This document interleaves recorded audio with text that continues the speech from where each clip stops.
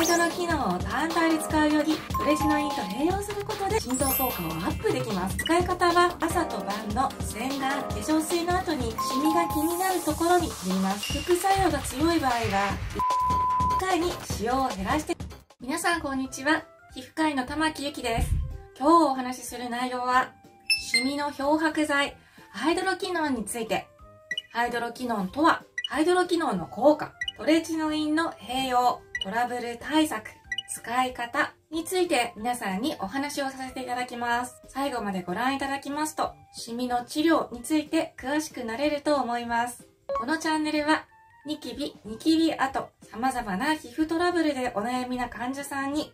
正しい知識を世の中に広げるため、現役皮膚科医の玉木ゆきがお送りします。綺麗な肌を目指して、皮膚科医が肌トラブルのお悩みを解決します。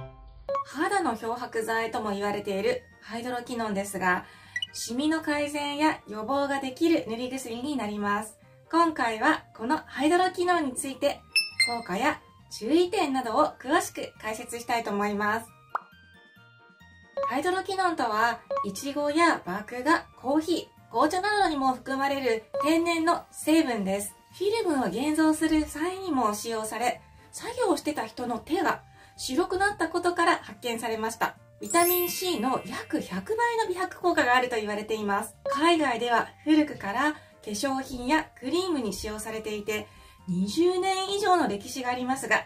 日本では2001年に薬事法が改正されて、ハイドロキノンを配合した化粧品が販売されるようになりました。ただ、市販の化粧品に含まれるものは、配合濃度が低いので、効果を出すためには、クリニックで医薬品を購入されることをお勧めします。今回は美白剤としてのハイドロキノンの効果やリスク、安全性について皆さんにお話をさせていただきます。ハイドロキノンは何に効果があるんでしょうか？普通、表皮の中にあるメラニン、つまりシミは肌がターンオーバーすると外に出ていくのでシミは消えていきますが、加齢、紫外線、乾燥などが原因となってターンオーバーが遅くなるとメラニンが沈着してしまってシミになります。ハイドロキノンにはメラニンの生成を抑える働きとメラノサイトというメラニンを作る細胞の働きを弱める作用があります。いわゆる茶色いシミに効果があります。具体的に言うと日光が原因のシミで30歳ぐらいからでき始めて年齢とともに増える老人性のシミに効果があります。あとは傷や火傷、虫刺されの後にできるシミの炎症後の色素沈着や乾板にも効果があります。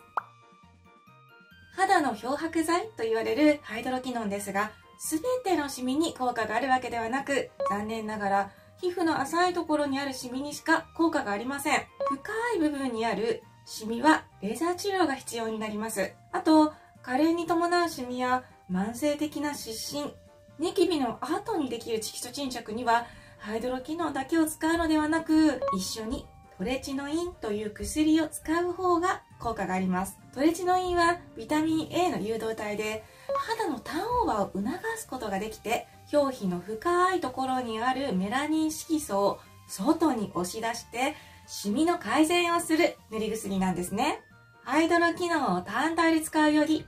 トレジノインと併用することで浸透効果をアップできます。具体的に言うと、トレチノインでメラの色素を外に出して、ハイドロキノンで新たなシミの生成を阻害します。このように、シミをきれいにするには、ハイドロキノンとトレジノインの併用が効果的です。だけど、トレチノインはずっと使用すると耐性が起きて効きづらくなりますので、休薬期間が必要です。わかりやすく言うと、最初の1ヶ月半はハイドロキノンとトレチノインの両方を使って、次の1ヶ月半はハイドロキノンだけをつける。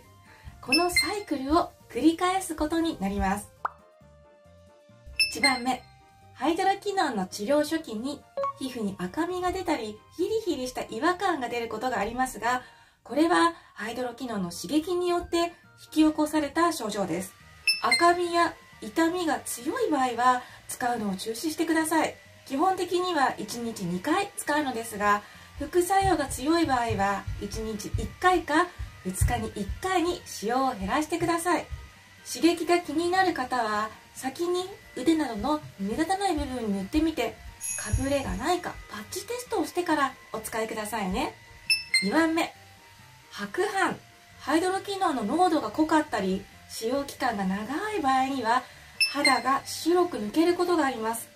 これはハイドロキノンの作用でメラノサイドが刺激を受けた結果細胞自体が失われてしまうためです。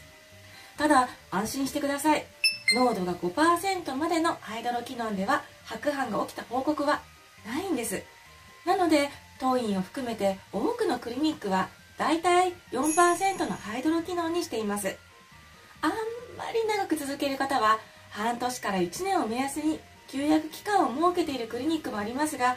明らかな基準はありません。3つ目紫外線対策は必要です。メラニンは本来は紫外線から肌を守る働きがあるのでハイドロキノンの治療で皮膚のメラニン色素が少なくなると肌が紫外線に対して無防備になりますのでプールなどで強い紫外線を浴びるときはハイドロ機能を避けるかしっかり日焼け止めを使うことも覚えておいてください。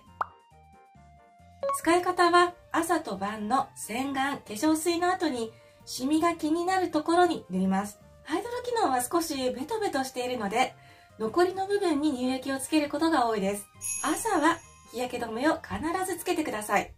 トレチノインを一緒に使う場合は、トレチノインは夜だけに使います。洗顔、化粧水の後で、シミにピンポイントにトレチノインを塗ります。数分してトレチノインが乾いたら、ハイドロ機能をつけますが、トレチノインを塗ってない部分から内側に向けて塗ってください。外側に塗り広げてしまうと、必要がないところにまでトレチノインを塗り広げることになりますので、ご注意くださいね。飲む日焼け止めを一緒に使うのもとってもおすすめです。綺麗な肌を目指して、皮膚科医が肌トラブルのお悩みを解決します。ということで今日は肌の漂白剤、ハイドロキノンについて、ハイドロキノンとは、ハイドロキノンの効果、トレチノインの併用、トラブル対策、使い方について皆さんにお話をさせていただきました。いかがでしょうか？シミの塗り薬、ハイドロキノンについて詳しくなれましたでしょうか？このチャンネルでは綺麗な肌を目指す方へ皮膚科医が肌トラブルのお悩みを解決しています今回の動画が少しでも役に立ったなという方は、コメントや高評価ボタンを押していただけると、今後の動画配信の励みになりますので、とても嬉しいです。次回は、ステロイドの嘘本当についてお話をします。では次の動画でお会いしましょう。さようなら。最後までご視聴ありがとうございました。このチャンネルでは、綺麗な肌を目指す方へ、皮膚科医が肌のトラブルのお悩みを解決しています。